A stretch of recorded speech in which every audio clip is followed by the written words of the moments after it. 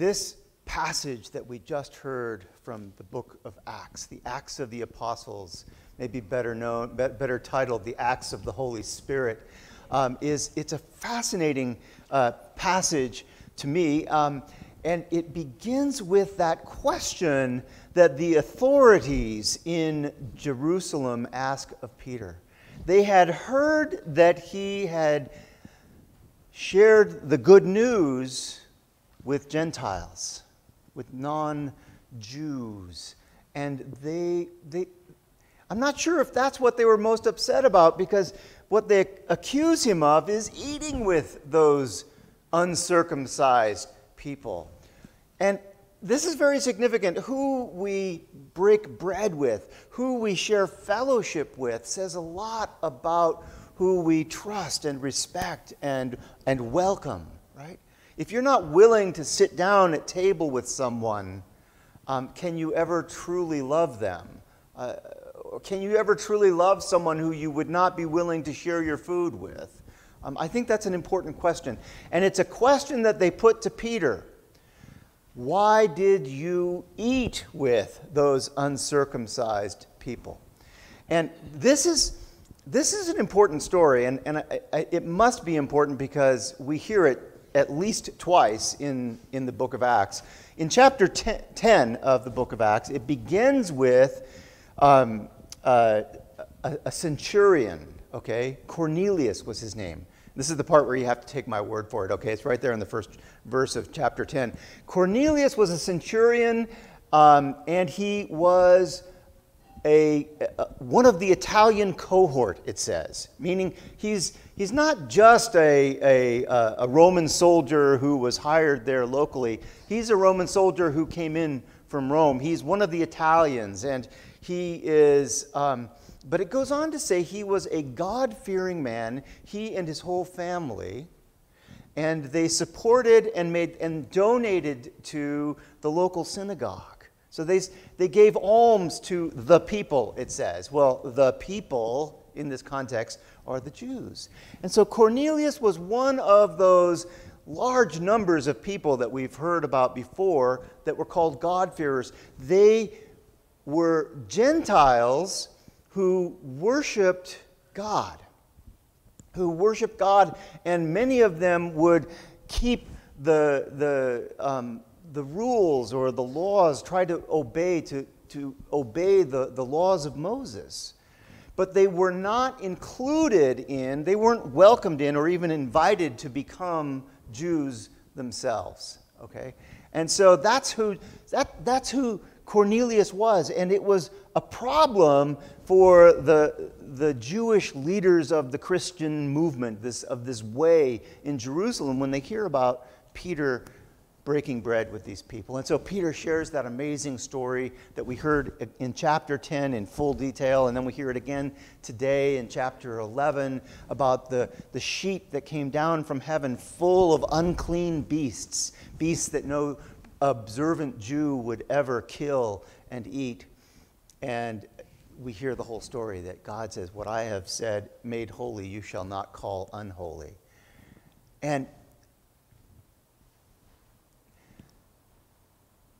the thing that's, one of the things that's really cool about this is, is that Peter shares his story with them. He shares the story of what happened when he had this vision right? And at the end of this vision, these men appeared, showed up, inviting him to come uh, uh, to, to, to the centurion's house. And he went with six of his fellow uh, apostles, I guess, or brothers, they, they call them. Six of them go with these men that came and they, and they break bread with, and with Cornelius and his family. And Cornelius and his family receive the Holy Spirit when they hear Peter teaching about Jesus and how Jesus reveals God, they're filled with the Holy Spirit. In the same way that the, the first Jewish Christians were. And, and that probably means that they were speaking in tongues and they were uh, understanding one another and, and you know all of those things that, that we hear about in the, um, the second chapter of acts so or the fourth chapter of acts so Peter shares his story with the people in Jerusalem, and they get it. His story is compelling. Who are we to say no if God has said yes to them? And, and that's the detail of this that I really want to zero in on that Peter shared his story.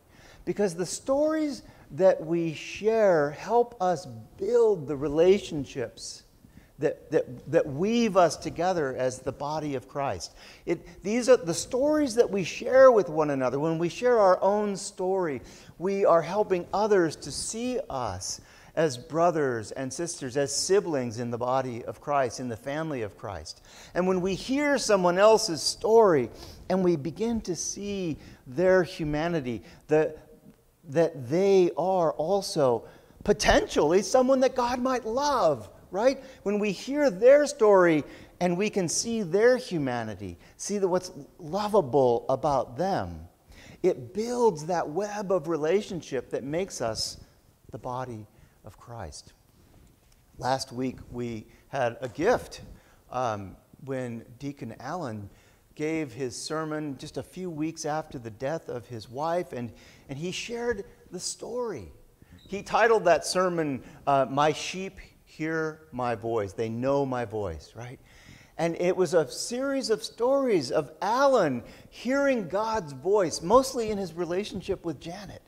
It was mostly about hearing God speak to him through that love, right? And he shared that with us, and we were able to see into that loving relationship a little bit and be wound together, woven together with Alan and Janet and their family, just a little bit more. And then later, uh, last week, or I, am sorry, it was this week, we got a message that one of our own, um, Deacon Richard Burer, um, is going into hospice care. And he's, he's, had a, he's had a long couple of years of just living in an adult family home. He's not able to do much for himself. So, you know, life's been hard for Richard already um, since he left us. And, um, and now it's gotten to the point where they're putting him into hospice care. So the end is coming. And, and when I heard this, I, I felt compelled to share a little bit of, of Richard's story, the story that he shared with us, um, that he shared with me as a priest. And, uh, and, and Richard's story is remarkable.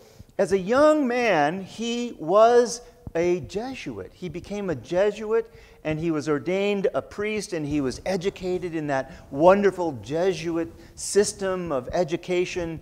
And at some point in his young adulthood, he became uncomfortable with this notion that in the church that he had given his life to, someone who was a gay man could not be accepted that a gay man could not be loved by God, and that the only way that he could be a part of this church was to lie about who he was as a human being and, and to, to hide that part of himself. He was encouraged to hide that part of himself and not express it publicly because that's not okay. All right? And he wasn't willing to do that. So he left the church. He left the Jesuit order.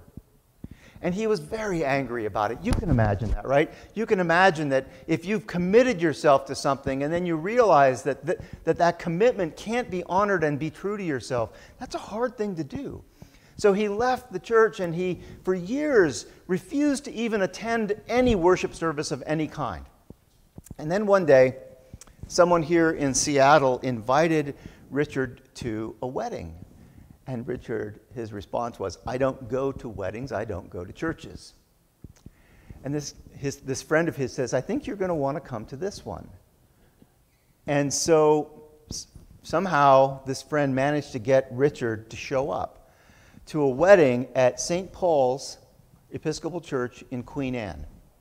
And this was in the mid 90s, so this was quite a progressive thing they were doing there. It was the wedding of two men. And there they were doing a, a wedding. This was right around the time when the diocese was grappling with uh, the, the whole issue of human sexuality and the, the statement of koinonia, you may recall that, and the whole notion that everyone is beloved of God and that everyone should have the right to be married. And so he goes, and there's these two men being married, and it just blew his mind. Here he is, just angry as anything, and, and and there are two men, and their, their relationship is being celebrated and it is being held up as a holy thing. And that was the beginning of, for, for Richard of a journey back into the church. He came back into the church as an Episcopalian and, uh, and became a deacon in the church. And when I first met him, he was the head of our clergy association. He was the president of the clergy association, and I was elected to the board. And, and then he came and he served here. And I love, he used to call me his, his, his little Protestant priest. because I'm so bad at the high church stuff. I just, I just never learned it as a kid. I don't, I mean, I can be taught, I can do it, but he always had to show me anything new, right? And so he, he thought that was pretty funny. And he was a wonderful gift to this congregation. But that moment when he went into that church and suddenly realized that there was a place where he could be honored and loved, that's, that's the moment. That was his moment. That was his story that he shared with us, that he shared with clergy and with other people of being called by God back into the church. And then uh, another story which I heard yesterday, um, and I have permission to share this story. This is John's story, and I'm just going to share a little part of it. Um, John was also a young uh, monastic. Uh, he was a Franciscan and he made his life profession to the Franciscan order and he was educated in the Franciscan education system and, and has a master's in theology and all kinds of good things.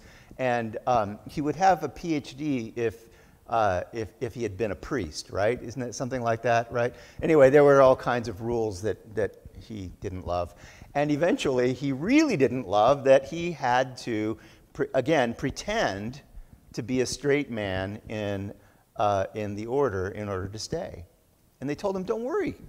Lots of people do it. It's not a problem. But he wasn't willing to do that. He wasn't willing to be in a place where who he was couldn't be honored. And so he left. And he left and was wild and crazy the way young men are wild and crazy and angry, right? The way that we get angry when, when we can't be honored in places that we want to be. And eventually, someone invited John to church, and he had a similar reaction. I don't go to church. He says, Well, you might like this one. And so they went to St. John's Episcopal Church in the Mission District. And it was full of people like John. There were people in leather. There were people who were obviously homeless. There were people who had drug problems. It was, at least, it looked like that, right? They, there were all kinds of people, and they were all welcome in this place. And John went in there and he thought, oh my gosh, here's a place where I can be loved, where I can be included, where who I am can be honored, and that my love of God isn't dismissed as invalid because of who I am. And it's sort of the flip of what happened in, in Peter's story. They're asking Peter, How could you go to those people? How could you go to a church where they have ushers wearing leather, right? That was a San Francisco thing, all right? Where they have ushers wearing, uh, you know, leather and, and people who are obviously not, you know, of the upper class, uh, people who are obviously not one of us, who are welcome and included in that congregation. Peter was told, How could you eat with those Gentiles? How could you eat with those uncircumcised people? Is the word that they used. And Peter said, I, I had to because God told me. And he shared that story. And as I heard Peter's story and as I remembered Richard's story, and, and, and, and yesterday John shared his story with me, what occurred to me was that we have the opportunity as God's people to be a welcoming place where all are welcome, all are loved, all are fed. Right? that's not the right order, but it's, yeah, it's on earth as in heaven, all are welcome, all are fed, and behind the music stand it says, all are loved. Not, not a problem there, music stand people. And um, that, that's the opportunity that we have. We have the opportunity to be, for people, anyone who comes through those doors, to be a welcoming place and to let people know that here in this place, you are welcome. You're welcome to eat with us. We will break bread with you. We will share table fellowship with you. We want to do that. And you will be loved.